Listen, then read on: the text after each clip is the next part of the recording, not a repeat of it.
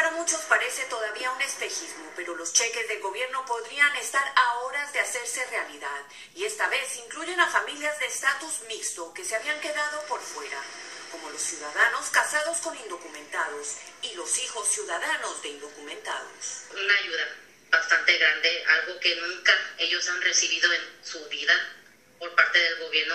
El dinero que recibirán sus padres es por su hija de 16 años. Será un crédito de impuestos de 3 mil dólares que corresponden por cada hijo mayor de 6 años. Para los que son menores es de 3.600.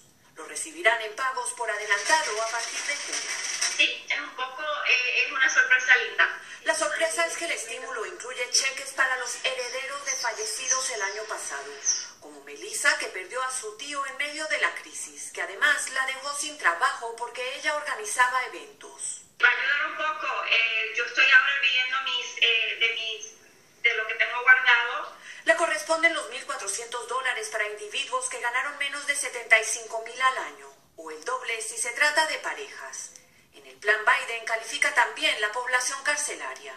Yo creo que están dando mucho dinero a gente que no necesita. Como a muchos le preocupa la deuda gigantesca que pesará sobre el país.